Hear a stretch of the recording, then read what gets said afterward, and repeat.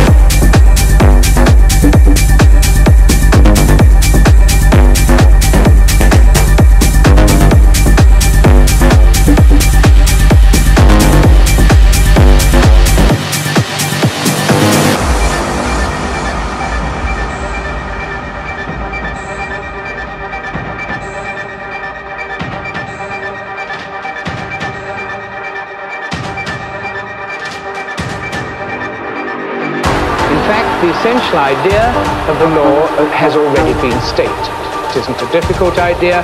It's the idea of increasing disorder. That the randomness, chaos, disorder of the, uh, uh, of, the universe is always increasing. An ex-vice chancellor of Oxford University recently said, thermodynamics, I don't even know what it is.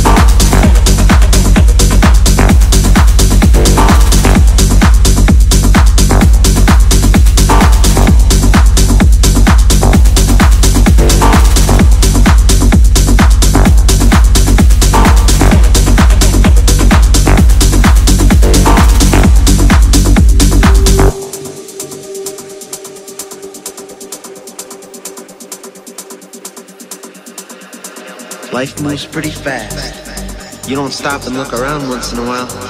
You could miss it.